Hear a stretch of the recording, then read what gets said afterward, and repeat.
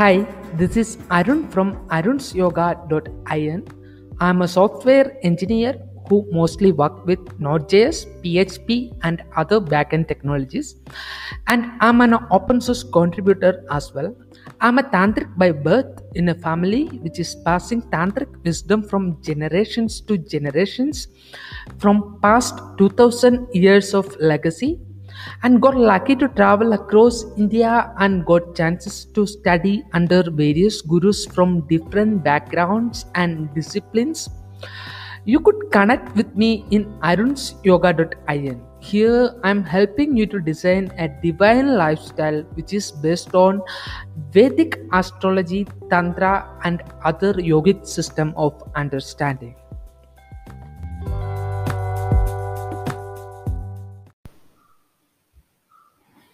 Hello. Today's podcast we are having a guest. Her name is Valentina Leo. She is a teacher of erotic wisdom and an explorer of the tantric realms for over 20 years. Valentina is a Dakini, holder of the freedom lineage from the Tantric school of fascinating wonderment, Akka Vismayo, that spontaneously birthed female teachers of Pathless Path. She is madly in love with the mystery and the traditional tantric revelations of Kashmir Shaivism. Now she offers various courses on Tantra, both online and offline. You could connect with her on www.eroticwisdom.org. However, today she is joining with us to discuss her journey as a Tantrika, her motherhood, also serpent wisdom, along with her chart. The the contact details of the Valentina is being given on the description below. So, welcome to podcast series episode number 18, The Serpent Wisdom with Valentina Leo. Yeah, hi. Um, it's glad to. Um, I am very glad that you have accepted my invitation to this particular podcast and uh, you are uh, you are doing uh, training people in tantric path and you are uh, recognizing them as tantrikas. And you are also a mother too. So um, as a tantrika and growing up kids and uh, how do you feel like that? And how did you started all this? Hola. So first of all, thank you for having me and inviting me, and uh, I feel really blessed and honored. And um, being a mother actually has been the biggest tantric teaching for me to accept reality as is and not as I wish it would be. And every time I want to change my reality, I'm resisting what's present and I think the, the core of all the tantric teaching is absolute acceptance of the perfection of this present moment. And when I can't see the pers- perfection of this present moment, is because I'm confused about my true nature and um, and so being a mother reminds me of this daily when i want to change things when i want to be in a different place uh, um, physically and spiritually and having to come back to the present moment and see the gifts that uh, mothering brings. And some of the gifts are you know really heartbreaking. There is uh, unbearable beauty. There is this ambiguity of um, such deep ecstatic love and such deep heartbreaking at the same time. And uh, and being able to be in the center of it all and um, and receive uh, you know many blessing I, I they arrive later. You know the my daughter already is growing up and i'm already grieving the loss of her childhood and the gift that her childhood brought to me um, i wasn't able to see it then when i was so deeply in it. And now i see so much more creating a bit of time distance.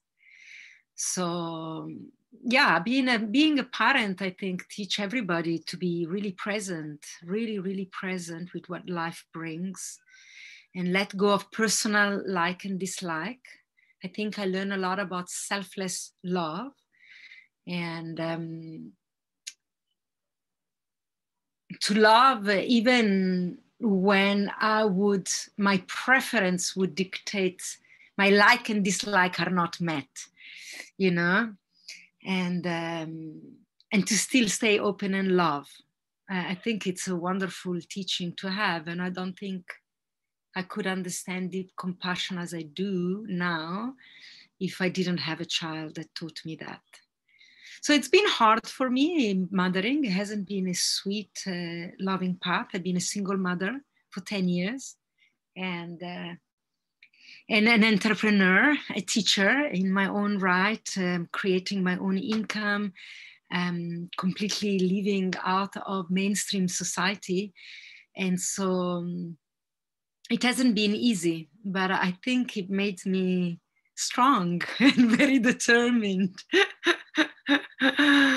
and uh, yeah, it's, I think it's the source of my power. My deepest power is that I'm a mother. And so I know what it feels like feeling ripped apart and pieces of me being taken, and yet be present with an open heart in the fire of loving. So, a true gift even with all my resistance. so how did you got initiated into uh, the path of tantra? Even how do you go to know about even the uh, tantric path and this tantric understanding? I was a punk uh, when i was in my early 20 and living in london. And the first time I heard about Kundalini was through a magician, a friend of mine that was into the magic of Aleister Crowley. And um, he told me about this inner power called Kundalini, this snake, black snake. and all the symbology was really attractive. And we were rebellious, you know, and breaking the rules and wanting to go against the linearity of society you know. We looked very aggressive as punk but we were all like pieces of butters inside. I think we were all looking for love and true communication and relaxation in our expression of being human. And um, and then I traveled to India following a party, a trans party. In those days in London, I was taking a lot of psychedelics drugs and um, having wild exploration of my embodiment. And um, I arrived in India for a party in Rajasthan, was the sun eclipse of 1995. And I, I still don't know how I did it because in those days there was no cell phone, no internet, barely any email. I don't even remember if there were email or not and uh, we i managed to we managed to find this village in the middle of nowhere in rajasthan uh, that was on the line of the eclipse and so we could see the eclipse in full and was in a village abandoned by people and so we basically squatted it. And people came from all over the world and um, we were maybe five to 800 people something like this. This is what i remember and after that, I went off on my own journey and I arrived in India and everybody I met asked about Kundalini because this magician told me in London mm-hmm. in my punk, if you go to India, you must uh, learn about Kundalini. And someone told me about a man in Varanasi that was teaching Kundalini practices. Mm-hmm. Mm-hmm. So when I got to Varanasi, I went to see him. I don't even remember his name anymore. I remember he used to wear big red dots in his forehead. He used to tell me that uh, when Kundalini is awakened, you can just do all your talent get enhanced. And so any instrument you pick up, you can play any song you want to sing, you'll hit the tune and um, you know the dances, you know everything basically. And uh, but you know, I wasn't really into the path then. It was a curiosity. I used to see this teacher as a curiosity, and in reality, I was spending all my time in Assi Ghat with the Italian, smoking a shish and going into the inner realms, you know. But uh, India really blew me wide open. I mean, I was just mentioning to you, I met the sadhus and the Aghori, and and I think I've always been a tantrika at heart because this Mm, a spiritual character really took on me. Maybe because they were the punk of the spiritual path, the rebels. and, uh, and I felt uh, completely attracted to them, their boldness, their non-conformity, you know, like India, you know, your India is very it conforms, you know, people are properly dressed and there is a sense of social acceptance. And then you have the Aghori that are completely naked, covered in ashes with wild hair and, and, and scary eyes. And I was absolutely attracted by them. And then I saw Kali, you know, Varanasi had a lot of Kali shrine in, in, in the ghats and around temples and buildings. And I really liked, I was fascinated by this little shrine distributed in the city that weren't temple, they were just shrine to this goddess that also was fully black. And, uh, you know, as a punk, Kali was the symbol of absolute uh, irreverence and rebellion. She had the big tongue out you know it's like uh, taking the piece to everything we know. Ah you think you know everything. Blah let me tell you something. It's the hand like this and i almost look like this. Blah. You know it's ignorant it's childlike. You know you think you know. You think you know who i am and you come to prostrate on my feet because you want me be the one you think I am. So it was like really mm, breaking all taboos. And, and of course was really aligning with my temperament in that time. I was 25, I was new to the world. That was my first trip outside of Europe to come to India. really blow my mind, my heart to see how other people live and uh, and Kali really put a seed in my heart in those years.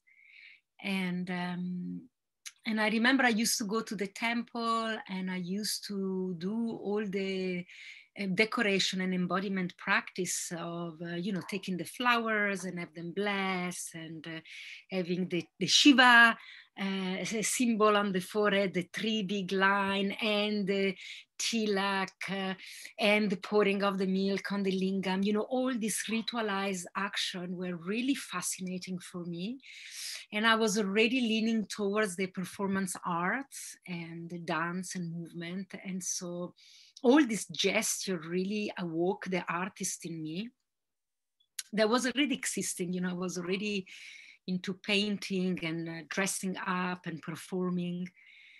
And um, so it was like a coming home. Suddenly something was, it was a recognition, you know, and, and now I know the, the recognition sutra. And, and then I didn't know this, that, you know, the tantric uh, revelation, the tantric truth meets you as a knowing, as a um, recognition that you already knew this that you're meeting now that drops in the body as an absolute knowing. So there was an, definitely a recognition of myself into all this character. And I was bold also because as a punk, I was wearing a Mohican. I had a blonde Mohican. And I arrived in India with like this Mohican. And uh, all the Indian people, I think they never saw anything like this in their life. I had a piercing in my tongue which I kept showing everybody. I had a big ring around my lips and I had big earlobe and many hearing, many dangling stuff. But of course, the Mohican was attracting a lot of attention. And um, after the festival, I just shaved my head. And so I officially became a yogini. Mm-hmm. But in those days, I wasn't even doing yoga. I started a year later when I was 26. Mm-hmm. And, and so they saw in me almost my future. The people recognized me for the one that I was about to become in the in the year to come, which I was still unaware of. I was just really playful about it. And so they called me Ganje, full moon. In, in Varanasi, actually, they gave me this name. And um, yeah i guess this was my beginning you know and then then i came to live to in africa and i kept traveling back to india and i took on classical indian dance mm-hmm. in the form of odissi And, um, you know, through Kali, I became familiar with Tantrism and uh, I started studying in the book. And I chose Odissi as a dance form because I read somewhere there was the dance form that was closest to the traditional tantric teaching out of all the seven classical Indian dance. And so I started to travel regularly to Bhubaneswar mm-hmm. uh, in the capital of Orissa to, to learn the practice. And, um, and there, I mean, also by crazy paradox, my dance teacher was actually a Japanese woman, not an Indian woman. I mean, I also had some Indian uh, teacher that influenced me, but she was my principal teacher, which I would like uh, to invite you to interview her. She still lives in India. She's been living in Bhubaneswar now for mm-hmm. 20 plus year. At the time, she's been there for 12 years. Now she's got an academy of dance. Mm-hmm. And um, and um, yeah and and so it carried on you know the tradition of eroticism and sexuality from the temples the temple of konarak and uh, and to be honest my meeting with the uh, not wanting the uh, the non-desire of an Indian teacher around me to to dwell in the true erotic path of this dancer you know, the Odissi has a very strong erotic tradition that is completely unexplored and um, to made forgotten and pushed underground. Um, although it's so blatant in the temple, you know. yeah. I was performing already, and I remember in those years in South Africa and Cape Town mainly, I was painting myself completely blue and mm-hmm. I would wear all the garment of Shakti. I had a big golden crown and bracelet, and I had a bell with dangling things, but I was always bare chested, like I saw the dancer in the temples, carved on the temple wall. And, um, you know, and I've always been lucky, my breast is small, so it wasn't too overt, also, you know, and, and with the paint over, it wasn't like a point of immediate attraction, but I created a little bit of a scandal amongst the Hindu community in Durban in those days. And uh, I was always so impressed that when I was driving around Bhubaneswar, you can have this statue, enormous statue of naked women with the breast offering the abundance of love and nourishing of their breast to, mm-hmm. to the people that so these are the those those structures are called dakinis. In Buddhism, they call it as dakinis. dakini, dakini.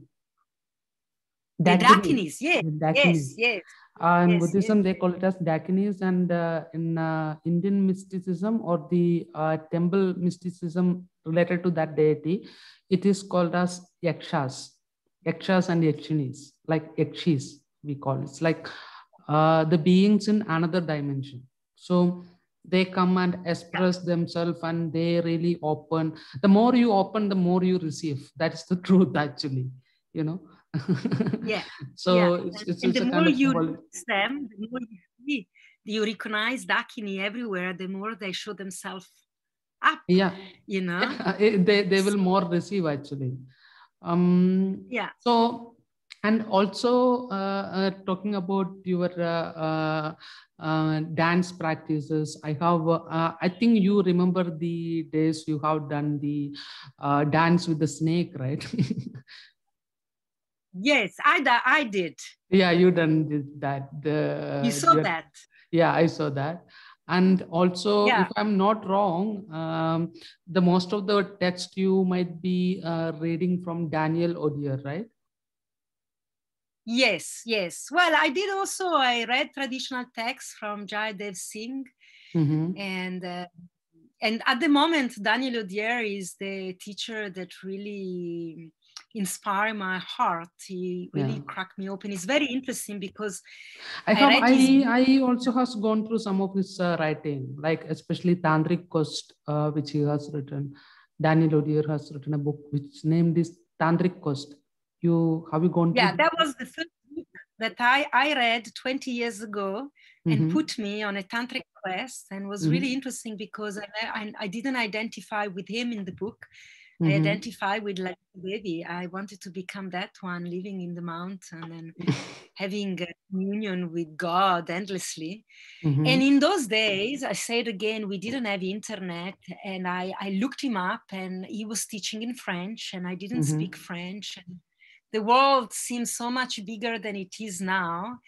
And so I carried on uh, following his writing, but I never imagined that I could meet him in person.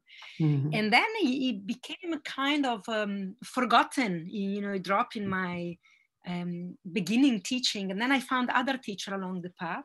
Mhm. And then I met him again when I was actually in my full maturity, you Mhm. know, and uh, I met him again about six, seven years ago Mhm. when I feel I was fully formed. I was already teaching Tantrism. And, um, and he closed the circle for me and i completely fall in love with all the practice that he gave me a direct transmission of and um, and it's interesting that when i fully understood what uh, dakini is i could you know start transmitting from that realm. And um, and so he was says he initiated me Mhm. and uh, and and into the the beginner's path. And then when i was ready to go into the depth he he appeared again in my life this time in person. And we've Mhm. been meeting in person since then. I i try to connect with him at least once a year. Of course now with covid it's been more difficult and um, and he really dropped me into the depth of the um, dakini transmission so Mhm. he is my beloved teacher I, I have deep, deep love feeling for him. He really, he really touched my heart.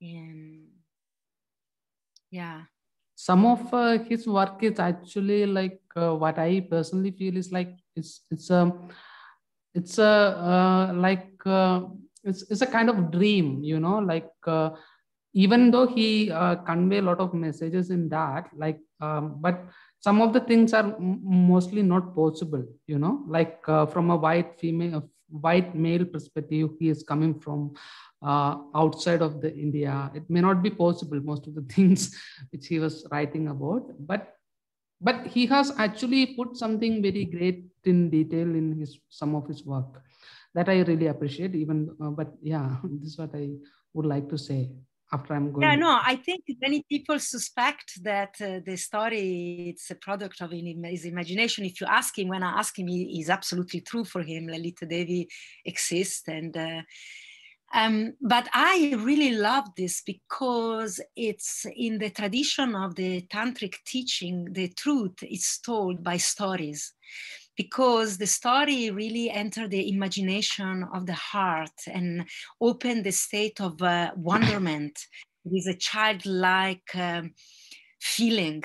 And when we are in the state of wonderment, we can imagine the unimaginable and the impossible can happen. And this teaching of Tantrism, the way I understanding, are pushing our limited perception of reality in every moment, is suggesting that there is so much more to reality that we can see and feel and dream of.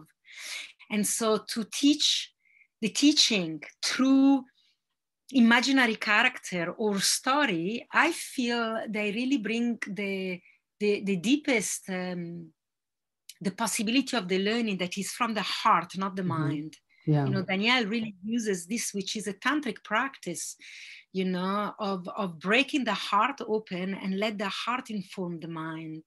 And when the heart is in a state of ecstatic love and wonderment, life is wonderful. There is no problem. There, you know, there are no real challenges. yeah And so the possibility to live from there, he informed that and cultured that. Rather, other teachers that I found that are extremely scholarly in the Mhm. transmission of tantric text, Mhm. and to me they become a little bit too dry. There is always that piece that I I need to study more to get it. I don't understand fully. I'm never gonna get it. I need to Mhm. read another book and read it three times and read it backward, and there is more knowledge. And is this chasing something that I will always miss it if I don't go deep enough with the text.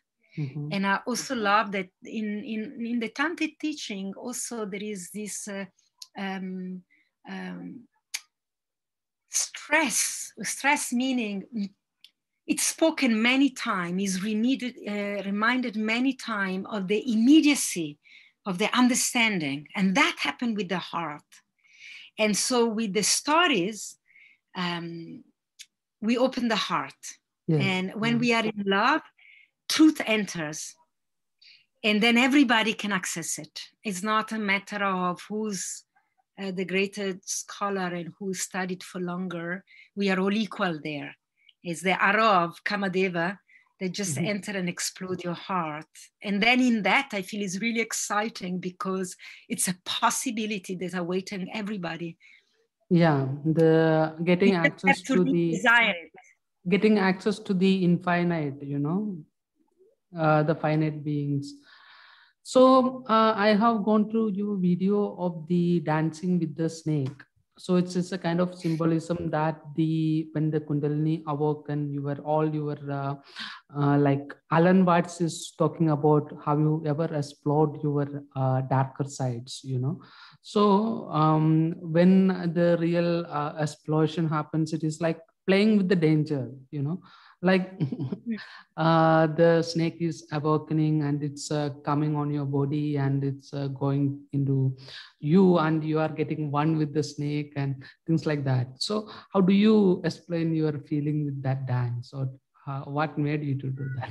Yeah i have um, I love Alan Watts as well, and it's it's definitely one of my lovers from the infinite. I never met him in person, but he cracks my heart open relentlessly.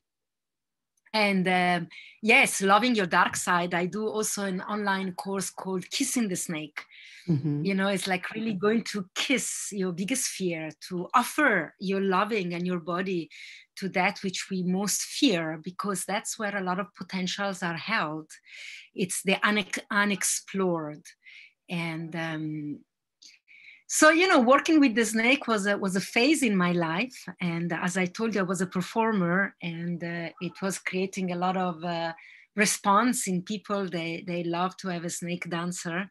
And then in my exploration with that i went underwater and we shot that video. And um, you know, I have to say, I want to say this uh, publicly because uh, many people think the opposite. I'm still scared of snake. Fear of snake never goes away. You know, living Africa, there are cobras here that are deadly. We have deadly snakes in my garden right here. Mm-hmm. Uh, I know they're there. I just don't go and put my feet there uh, but there is this constant awareness. And so I'm still scared of snake and I am mesmerized and attracted and still afraid. And I think that is to keep the polarity alive at once. And so that's why snake are so, they're such a powerful symbol. And um, because we don't want them, we don't want to look at them, but yet we want to look at them mm-hmm. more. So it's like this I don't want to look, but I'm looking like this. And so there is that pull and push. And so maintain this tension alive in the body that create life you know is the tension of the tantra you know living in the in the tension of being two things at the same time attracted and afraid and one of my teacher called this the exfrightment the excitement and the fear living together and to recognize it. And so the snake for me is still that. When I look at that video of me with the snake, you know, it was shot in 2006.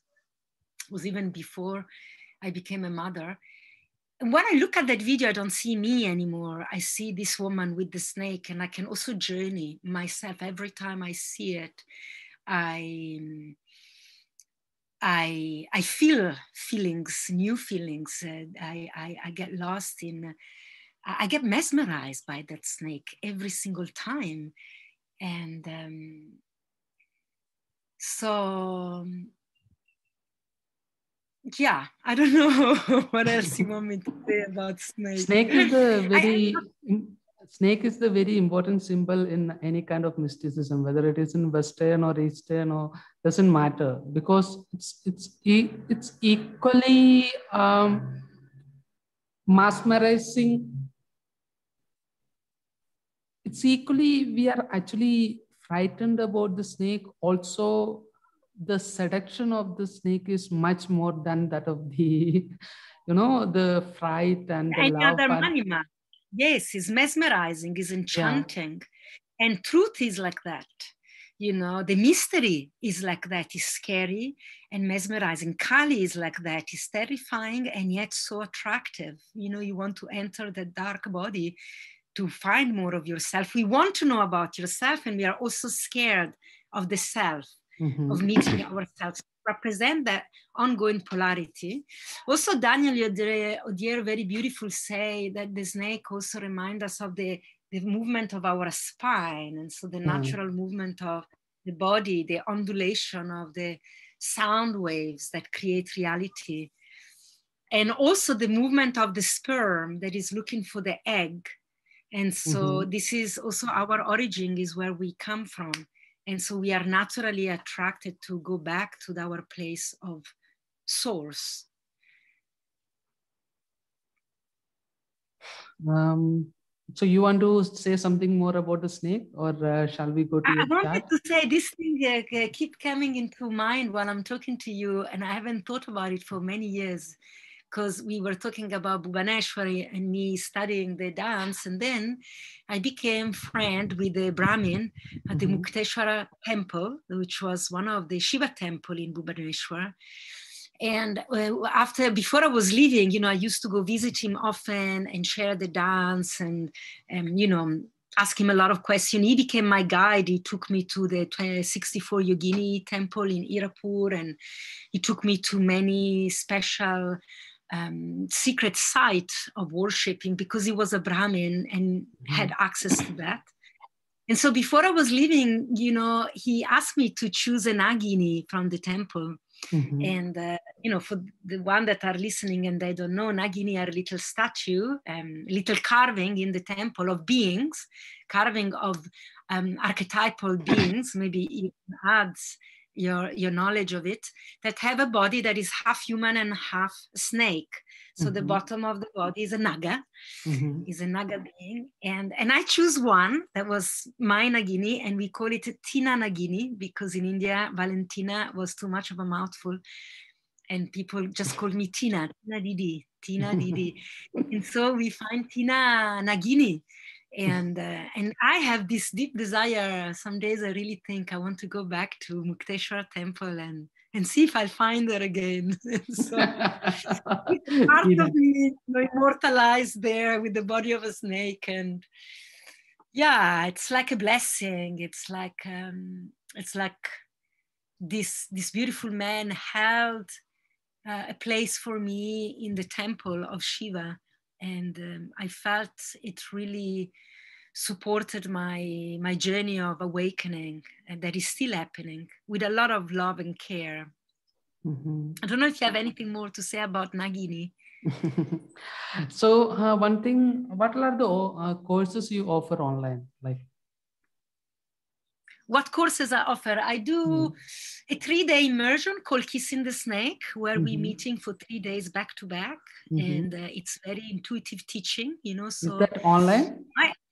it's online in July, Mhm. and um, and then after that is a test to see if you like to work with me, if Mhm. I awaken something in you, in your being, because I think we have to choose our teacher according to the level of seduction you know if they Mhm. seduce our body or our mind not because someone told us that they valid Mhm. and so if that really moves people then they can come on a um, six weeks online course called um, riding the tiger so 1st Mhm. we kiss the snake and then if you manage to kiss your fear to invite your fear then we're riding Mhm. we're riding the tiger of life the tiger of your heart the it's the fearless path of uh, passionate living on the planet Mhm. and uh, and then i do in-person event you know Mhm. people are really welcome to come and find me in south africa Mhm.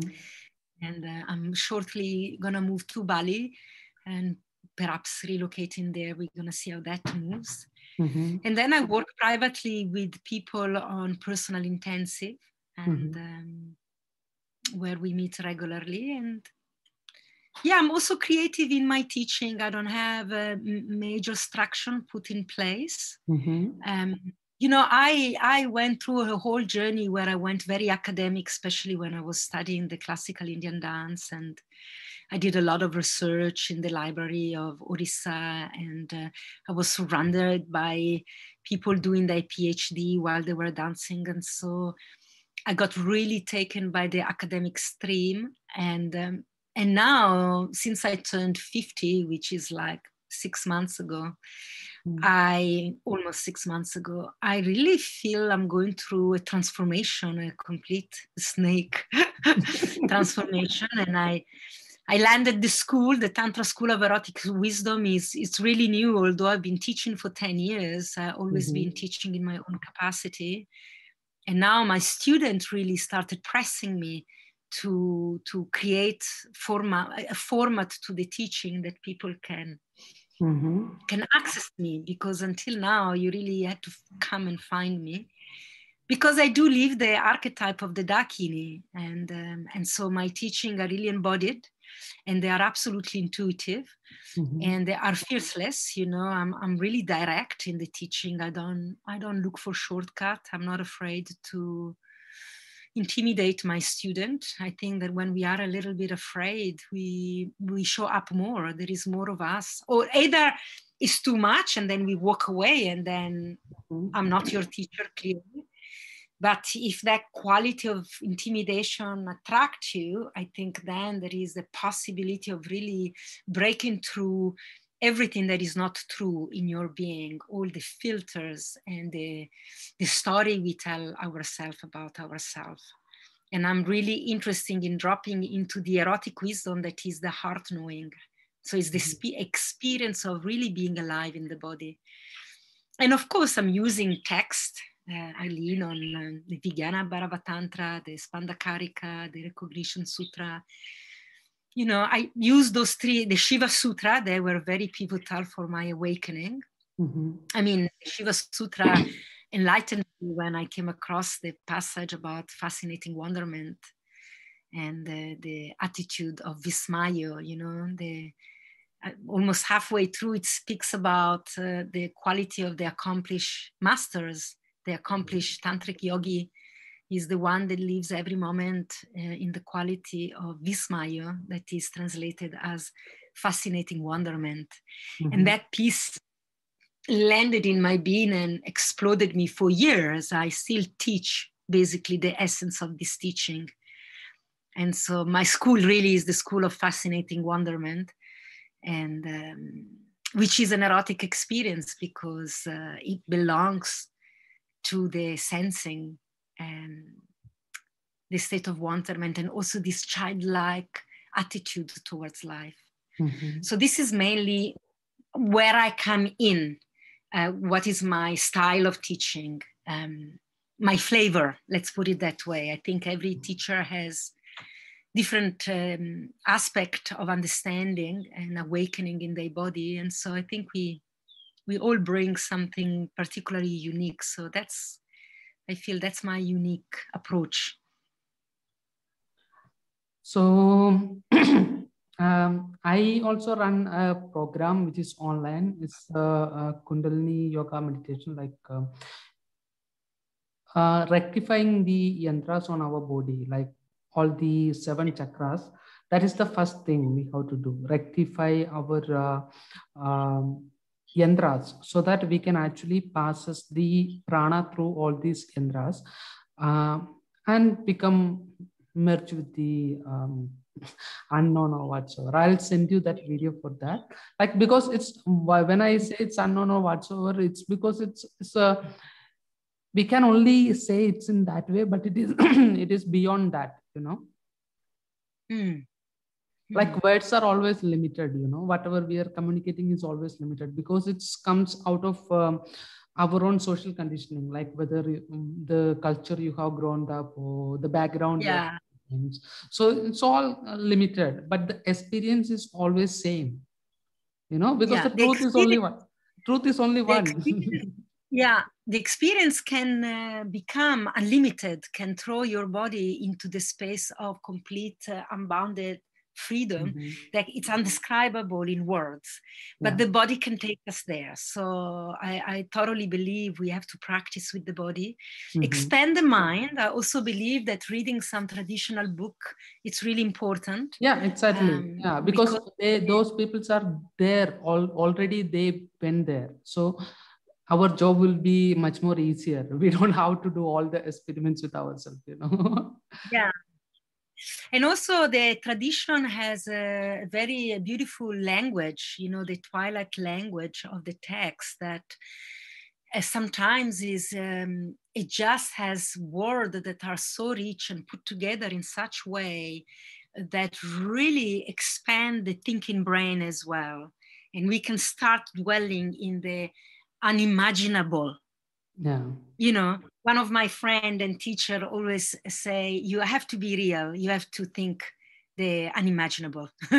You have to think the unreal.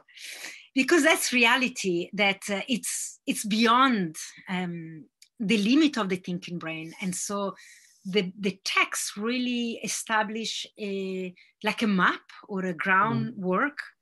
And for them, the practices are unfolding like opening flowers onto this groundwork. It's like Shiva on the floor. I really love this picture of Shiva in Shavasana with the mm-hmm. erect phallus, mm-hmm. which is all potential.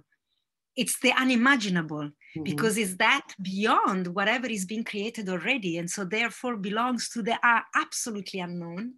Mm-hmm. And, and Shakti, Kali, the feminine, sits on the phallus takes it in absorbed all potential mm-hmm. and where she touch and love makes it into a reality and okay. so it's by virtue of this dance always absolutely unlimited and infinite and so the quality of fantasy and wonderment that's why i think the book of daniel odier his language his poetic language is absolutely essential to mm-hmm. imagine the unimaginable you know Mm-hmm. Um, so I also really, I'm really fond of Lalla, the poetess of Kashmir. I don't know if you're familiar with her poetry. Which one? Lalla, Laleshwari, Lal Ded. No, no, I don't know. She's a mystic poetess of mm-hmm. Kashmir, also lived about a thousand years ago.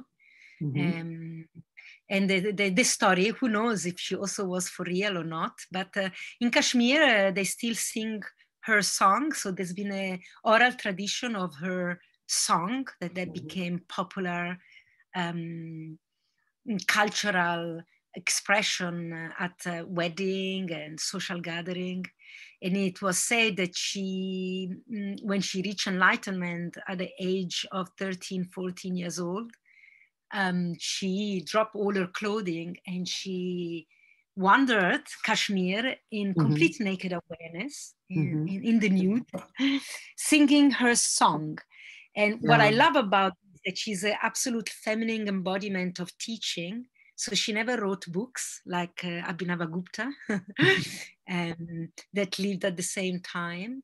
And she never created a school of thoughts, mm-hmm. but she just offered her body to the experience of truth and so she was naked and she was making love to reality. Mm-hmm. And she was singing the teaching. So you don't get the teaching of Lalla, you get the song of Lalla, which are poem. And so I love this that truth can be also sung and dance and uh, um, dissolved into the expression of my love and is not just received in linear writing on textbook Mm-hmm. You know, I, I grew up a, a Christian Catholic, so of course we have the Bible and the Evangeli, um, the Gospels. There, there, there, was a yogini which I heard about. Her name is Akama Devi.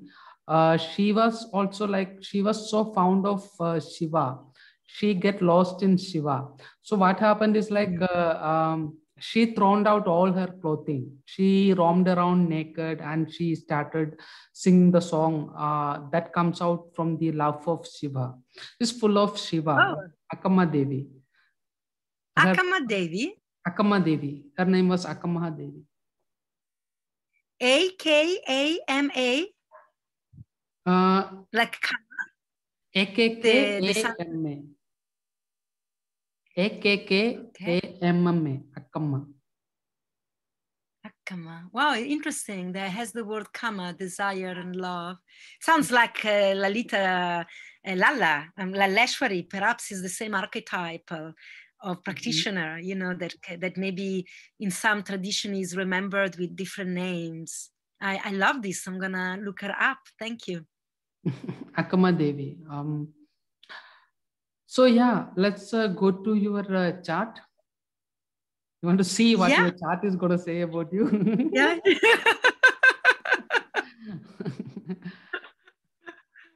um, yeah, I'm just going to share you. Um, you have the printed version of the chart with you? Yes. Do, do you want me to open it up in front of me? Do I need to look at it? Mm, yeah, if you want.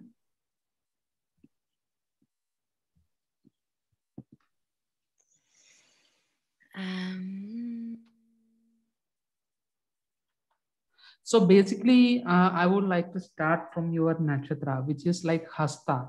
Hasta is the Sanskrit term which could be translated into English, uh, saying it's like a hand. Okay. Oh yes, the mudra, hasta. the hasta. You did it yeah. into the dance. Yeah. Exactly. So this is uh, um, the hand, and uh, what happens is like whoever has this particular nakshatra has a particular ability to do something with the hand. Like they can heal people by touching, they can uh, do artwork, like extra spe- uh, special activities they could do with uh, their hand. Mm-hmm.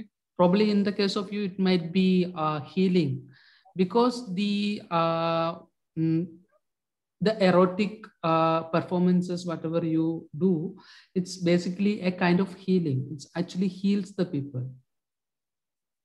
Yeah, I, I like to think it more in terms of it inspire them into a recognition of who they truly are. I'm, I'm really not too I don't use the word healing a lot because healing implying that there is disease and brokenness and we need to fix um, something. No, I when I meant the word healing, it doesn't mean that physical healing. Like healing in it's another like another dimension, like you know, the metaphysical uh, dimension. yeah yeah it's clearing the confusion to that that take keeps you away from your true, true nature a true understanding of reality. But I found that uh, in contemporary language, it's this word is a little bit abused.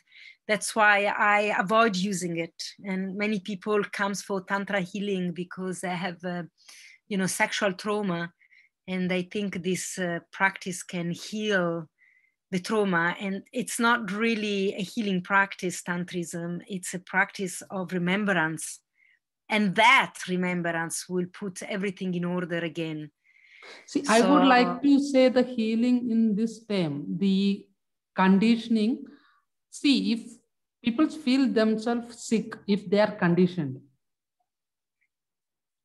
because they are bounded to so many things like uh, uh, they are actually doing a life of enslavement if they are uh, if they are feels like uh, uh, um, bounded. If they are conditioned they feel like uh, they are actually living a life of slavement. So that is an unhealed life. It's a diseased life. You see? Yeah i understand what you mean. Still i have a preference not mm-hmm. to to understand that there is it's shiva too. Even a, an apparent broken life is still shiva having an experience of himself. And so in, in the virtue of that cannot be broken is still part of the perfection of reality. But i, I fully understand what you're meaning. I'm i'm i'm, I'm being a little, a little bit pedantic here. So let, i understand what you're meaning. I understand absolutely what you're meaning. And um, it's valid. It's valid so that is validity. the hasta nakshatra. Usually uh, they have the ability.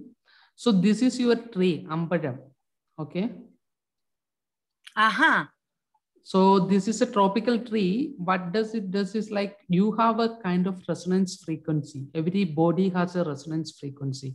So when you come near to this particular tree, this will actually start to vibrate uh, on the level of your body. So which means that you can easily connect with the this particular tree. In Tantrism, we know that once we realize we actually understand that we are we are the universe Mm-hmm. We are the microcosm of the microcosm. Yeah, yeah. So when you come near to this particular so, tree, this can actually connect with you. You know, you see. So is this um, where is indigenous of? Uh, meaning? Is this many name that uh, is this uh, jasmine tree? Mulla, no, mullai? No, no, no, no, no, no, no. This is amparam. It is there on the link which I have shared you. There is your nakshatra link is there on the chart which I have shared you. If you click on that, you can come to my website on this particular page and you can see uh, more about this particular tree, Ambadam. Ah, okay, okay. So, so this that you're showing now, you're sharing the screen, your computer screen, this is specific on my reading? It is there on your reading, on the chart which I have shared okay. you. Okay, okay. Sorry, I didn't uh, look before. I saw something else that um, confused me. I didn't now look so clear. okay, so this is how your nakshatra will looks like on the sky. Hmm. If you look at on the sky, the uh, moment you got birth, the ascendant was there on sky. So that area, there will be a group of stars so that stars in India, we named it as Hasta and it will looks like uh, in this way, uh, alpha, beta, lambda, gamma and epsilon Corvi. Hmm. So this is like you are Devagana. Devagana means uh, you are uh, like there is three Gana. One is Asura, Manushya and uh, god okay? So you are devagana so you have the uh, ability to be like a god like uplift people to talk to people and things like that you know? Mm. so Guna, this nakshatra has the guna of rajas so which means that you like more spicy like snake oh yes. Chili and intensity of experience. so things like that. So that is so, and uh, your god is Agni, okay, which means that you mm. can burn things very easily. You get very mm. angry like Kali, and you will get burned. you can burn things, you know. Yeah. So yeah. when I am saying burning, I'm talking. It's in a metaphysical level. It's not like um, you know uh, physical layer. Yeah, yeah, yes. So you have the uh, masculine quality is more uh, rather than that of the uh, Shakti quality. Mm-hmm. I do. I do feel more masculine uh, than feminine, actually, although I appear very feminine. Yeah, exactly particularly my desire for emptiness and freedom. exactly. um, hmm. so you have more connected with this uh, Savitar god. Okay, if you um, uh, this is like a pure land. Uh, if we talk, if we want to talk more about this, we have to talk more about the Pure Land Buddhism. If you see this land in a metaphysical realm, uh, that area there is a metaphysical entity is existing. So in yogis in India called it as Savitar. So you could actually connect with this particular god using some kind of mantras. Hmm. So it's not exactly like a god, it's like a, um, a metaphysical entity. Okay. So you should understand that there is no god in India. Actually, even though there is thousands of gods, there is we don't believe in god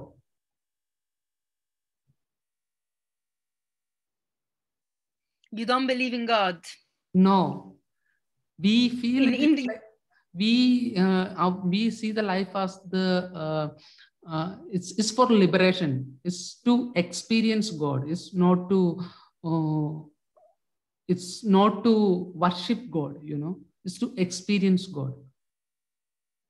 Hmm. That's really beautiful. worshipping is two different things. In tantra we actually experience. We figure out a way to experience it. Yeah. Yeah and the worship it's it's finalized to the experience. You know when it's, we like act uh, of worship is like uh, jesus. Jesus is a god. You worship me you will come to hell. If if you don't worship me you will go to hell. If you worship me you will come to heaven. Mhm, so in india that kind of concept is not there. Mhm. but i in india there is a lot of worship of um, murti and it's murti it's deity it's not god it's, eh? it's deities deities okay. Yeah. okay. So define for me what a deity is. It's an avatar for god. How do you define it? Exactly. It's an avatar. It's like you can be become god. That is the important thing. If you do some certain yoga practices and practice some mantras and things like that you will be become god. Well you'll remember that you are god already. You've been all along yeah. To say like instead of becoming it's taking away all the layer that made you forget that you are it already. Yes exactly. It's already revealed. So, i all also feel the part the part the path of tantra for me it's a journey into revelation. And you know i call the tantric revelation more than teaching because it's a path that reveals what's already here by we take away that everything that is untrue you know the narrative the false beliefs everything that is in the way for um, for your true self to reveal itself which is god. It's the divine. yeah exactly. So these peoples or the these deities which you can see in uh, india is actually somebody like me or somebody like you who have already walked in this path already walked in this land. And they expressed some qualities and they used some techniques to reach that level of uh, um, you know that level of uh, clarity in their life. So same technique that is somebody is for tantra somebody is for yoga and somebody is for bhakti things like that. So that is what in, happens in india. So do you believe that shiva was a true blue being that danced his tandava dance on the planet that really walked this earth shiva was physical walked on earth. Hmm? shiva he What walked on this land actually. Earth. And so was vishnu and rama and ganesh. All those people. All those people. Okay. And uh, how long ago? Do you have an idea like maybe 4000 5000 if we see the skanda puranam and all those things uh, krishna and all was walked around 5000 years ago. Krishna rama and all those guys has walked uh, 3000 you that 5000 bigger than our human side like giants? I had this Uh, idea that they were really big and see the and- size is relative do you understand Hmm? that? The size is relative actually. Yeah to a point. I mean i think in the description of the deity they always appear so big and uh, and human so small. And uh, in the in the traditional uh, um, historical teaching we were told is because people see them so powerful and depicted them so big see the thing is And like think- when you when you become the core when um, see krishna was not that big. He lived among the people and he even fought the fight you know he even fought the war actually uh, in mahabharata and all. He have killed thousands of people krishna. And when he become big he, when uh, arjuna was asked him can you show me your real size i mean your real uh, actual thing. So he become very big in that particular moment. And what is Hmm. that actually? What is that actually happening? When you drop your self identity i am this body you will be become nothing. It's also as same as you become everything. Hmm hmm you see? The body of the universe. The body consciousness when the body consciousness loses you become nothing. And it is also as same as you become everything. Yeah, absolutely. you see that is the thing.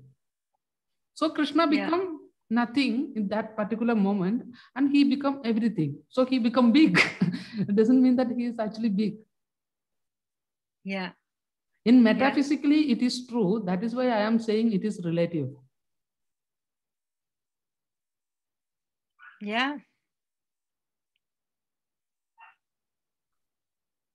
Yeah, I agree with you. I always, I also, you know, I, I let myself not to believe anything too strongly because Mhm. I think we we lose freedom when we yeah that is what the- thing that is what the thing of the uh, believe the difference between the semitic religion and the religions from east we says don't believe anything yes, and that's freedom, that's and it's freedom beautiful. and jesus And so- says what the semitic religion says believe me i am the one so that is the Yeah. difference, the main Yeah. difference we said Yeah. don't believe me krishna says don't believe me you know you but see also in the tradition of uh, in the school of tantrism you know Mm. there is a lot of sometimes i see strong rigidity in what is taken to be truth like for example that even Abhi- abhinavagupta really Mhm. lived. You know do we know that for sure? Could be another inspiring character created to entice our curiosity to know true. And and so for me everything is possible. And i always had this idea that shiva perhaps really walked this planet that is not a symbol you know in, in Mhm. a lot of uh, tantric texts uh, is just held as a symbol of the absolute reality. And sometimes i think no maybe it's not a symbol. Maybe it was a real blue man that walked yeah this planet. he he may not be say. blue. He may not be blue uh, Why not? he was a man. He walked in uh, i like him to be blue. Okay. Okay let it be Don't take it away from me. Maybe dark blue. Sky blue. The sky at night. Midnight blue. Yeah it's uh, good. Uh, it's uh, that the uh, the uh, tantric teaching he has revealed uh, mahabhairava tantra he was saying one of his meditation technique is to just imagine just look at on the sky and you are there yeah. You Yeah. and that's my body. That's his body. Yeah That's the body his of body. Yeah. Yeah. Just look at on the sky and you are already there. You don't have to seek yes. Yes. So true eh? Very beautiful. Yeah. I love the simplicity of this teaching. You see, that's why I I really embrace tantrism because they are sometimes excruciatingly simple. You know, they are so simple they break the heart immediately, and that's why many people can't receive them because we've lost the sense of simplicity. You know, we believe that true intelligence has to be expressed with complication and knowledge has to be complex and complicated or is not true knowledge and the tantric teaching dissolve that mm, yeah instant So um, let's uh, go to. So there is a kriya, there is a vidya, like uh, a video which, which which is like yoga and kriya that helps you to uh, breathe deeply and uh, to be. It's, it's, a, it's another technique. Whether you want to do it or not, you can do. okay There is a video. All right. So this is the uh, your uh, sexual type is buffalo, buffalo yoni. So this will actually uh, this practice will actually give you more intimacy with your partner. all right yeah that's a position i like to to take i recognize that yeah it's a comfort place hmm So here, Mm. you know, uh, hands is on each other's heart. Art. See? hmm So this is Yeah. actually creating the trust.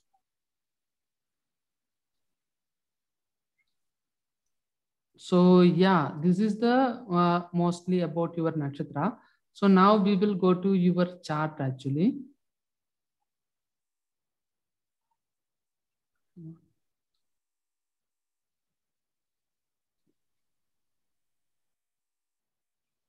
You have Ah, this- yes. This, this I looked. This I saw. I Yeah. opened this. Yeah. But you know, I couldn't de- de- decipher any of this. it's, a cryptic language. this is a cryptic language for the unknown. yes, exactly. we just spoke about this extreme simplicity. You're throwing everything off with this cryptic language. no, the, the the complicated thing is the most simplest thing, you know. you It's the simple complexity. no, no, the dialectic is the real reality. Mm, In philosophy, there is a term called dialectic. It's like uh, Yes, you understand, like yes, it's yes, yes. it's middle of the two. The complex is as same as most simple. That is the dialectic, you know. That's the dialectic. To make the complex simple to be understood. yeah. And yeah, So in Tanu Bhava, there is ascendant is standing. So ascendant means that is where you get birth. So Tanu. So you are a self-centered person. Hmm. that is what it's revealing. And the, the Bandhu, Ketu is staying. Bandhu means the friend. So Ketu is actually um, works along with the occult understanding and stuffs like that. You see? I don't know where you are looking. Where is Bindu? Ketu, Ketu, this here, Bandhu. Ah, okay, okay. So here Okay, Ketu is staying. So Ketu is the planet that is associated with occult understanding, Okay. occult and magic and things like that. So that is your friend. So that means I've- got an affinity with that. What is that? Uh, yeah, you have an affinity with that. And the, the Putra Bhava, the fifth house, there is moon is staying. Moon is like a feminine. So your kid will be fem- feminine quality. Maybe you have a daughter, right? Yeah. So that is like feminine quality. Yeah. And the sixth house, Venus and Mars is staying. That is your uh, enemy. Venus is actually like uh, um, uh, the more thing, like um, uh, Venus is the planet which is associated with sex, drugs, and rock and roll, all those things. Mhm. Then Mars is the planet, is battle. It's a fight. So these two, two things are your enemy. Like uh, when you walk on the uh, tantric path, you should be always aware that I am actually walking with pleasure. Without neglecting the pleasure, I am walking on the sword. So when you see that pleasure is there, not losing self and get into pleasure rather than focusing on happiness only can help us to get there. Mhm. You see, So basically, what I what I hear you saying that these are my potential deviation from the path, my enemy, in a sense that could distract me to get into passionate uh, sex and uh, drugs and rock and roll, the deviation of from the path and and maybe fighting, confrontation. fighting, that what like you get angry very easily. You fight, get into fight very easily. I used to. I used to. I I, I say that So I it's, it's not like uh, you have to avoid all those things. When I'm saying uh, you should be aware, awareness is different from avoiding. You see? yeah, you call them my enemy. That's why I thought they were the potential distraction. Like that they you there. should create an aware, aware. You should be aware of that. Mhm. When you are walking on the path of pleasure, you should be aware that you are walking on the path of pleasure. It's not like you Yeah. should not go to the pla- path of pleasure because pleasure has to be there. Otherwise, life will get bored. Do you know? Yeah, yeah, yeah. Dry, too dry. and Jupiter is staying as the Yuvati. Yuvati, your relationship is always you look for uh, wisdom. Mm. I do. Even you are in a, in a quarrel with somebody also, you always look for the wisdom in that quarreling. That is a good quality. yeah.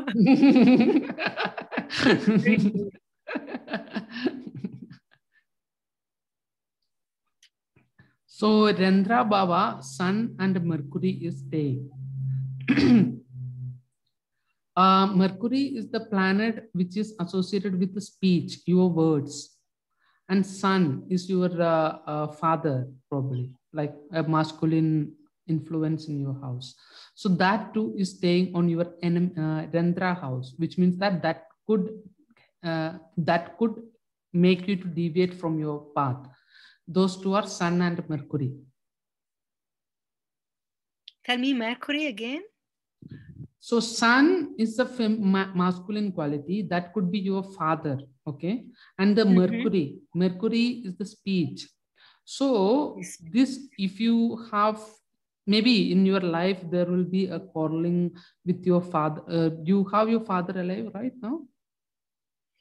Yeah, not on on the threshold of another um, reality. He's got um, Alzheimer, and so he's not consciously aware of his reality or, or the reality as we see it. I don't know what's his reality at the moment, but we don't have a social relationship anymore longer. He doesn't recognize me anymore, and he, he's he's lost in his mind a little bit.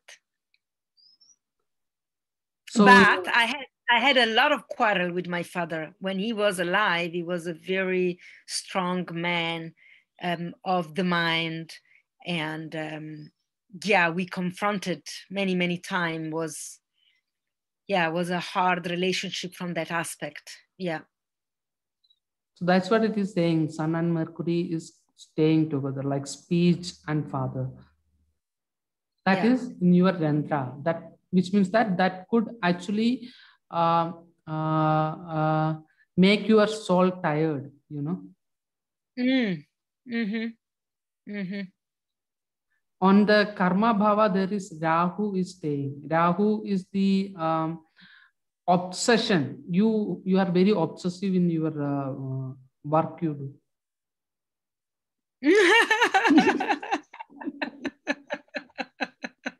okay. I will look into that. I thought I was just dedicated, deeply dedicated. but you are Okay, obsessed. okay, perhaps. So karma here it's on the on the work in my expression in the world.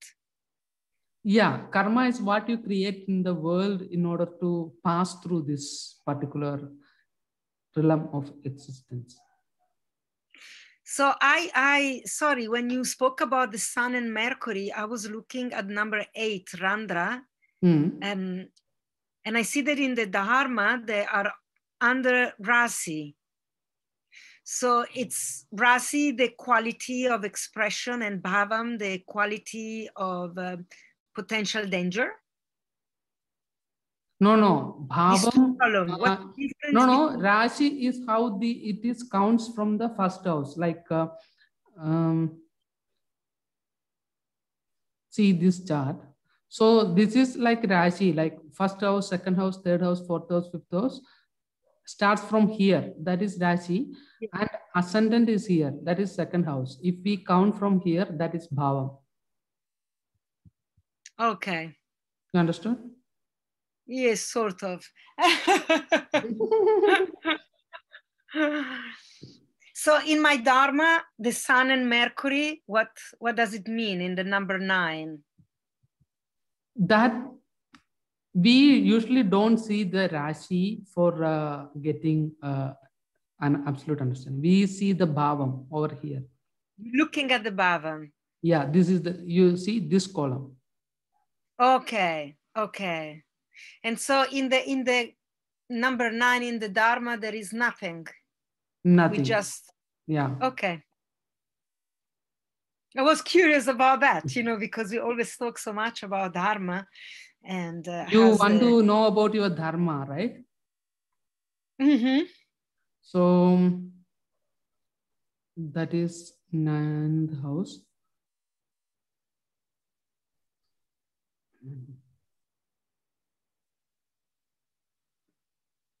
ninth house that is like ascendant.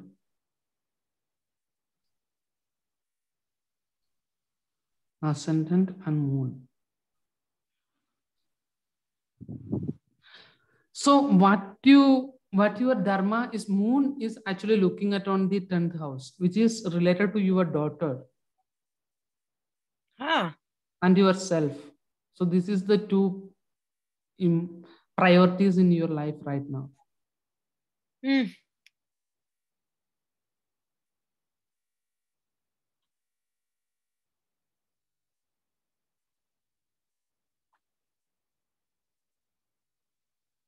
So the use of the chart reading is to understand these are the things which is staying on my uh, life and to liberate from that thing.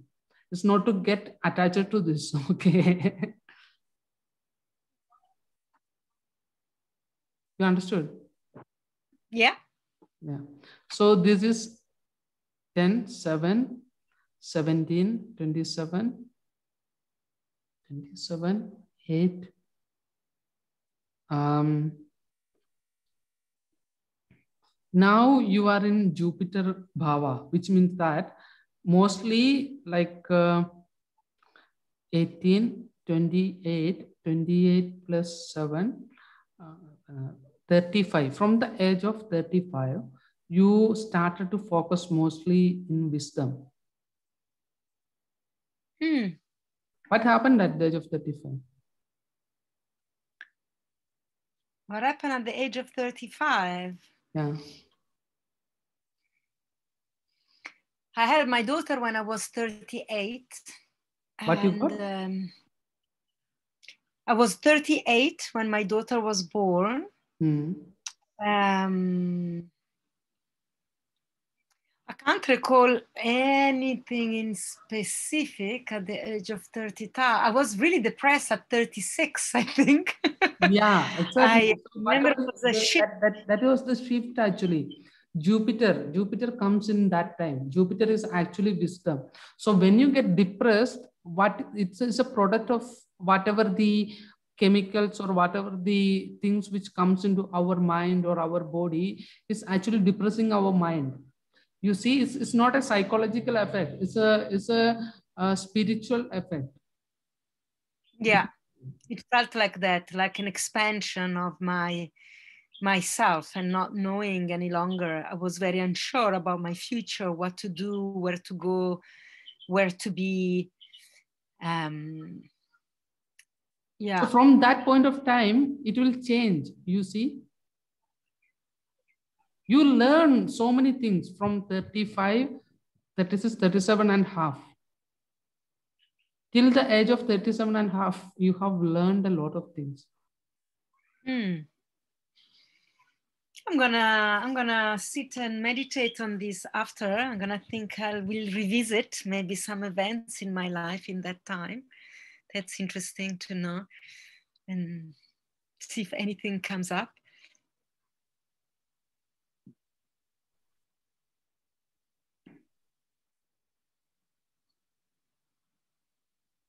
So, yeah, these are the things. Now you are uh, 50. hmm Yeah. Uh, so, any other questions you have? No, I think this is rich enough.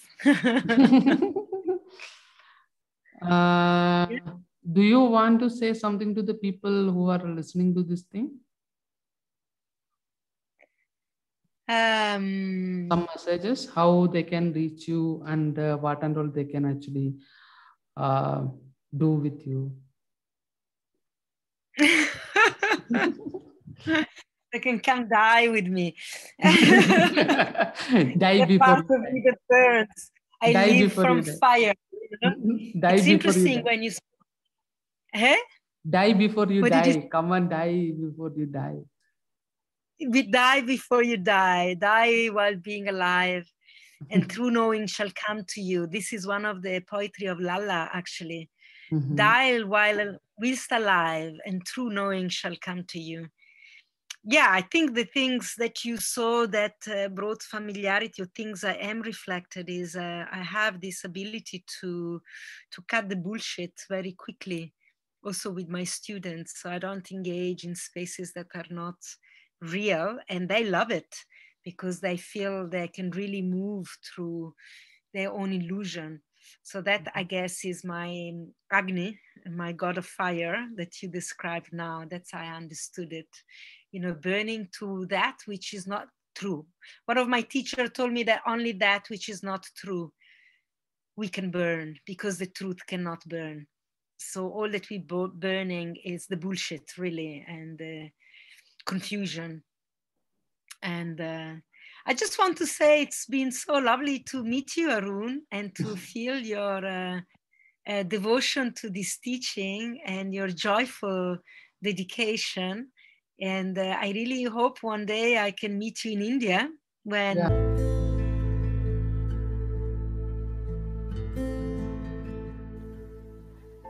Thank you for listening to my podcast. You could connect with me in arunsyoga.in where you could see my contact details, including my phone number, my WhatsApp, and email ID. Stay tuned for more exciting episodes.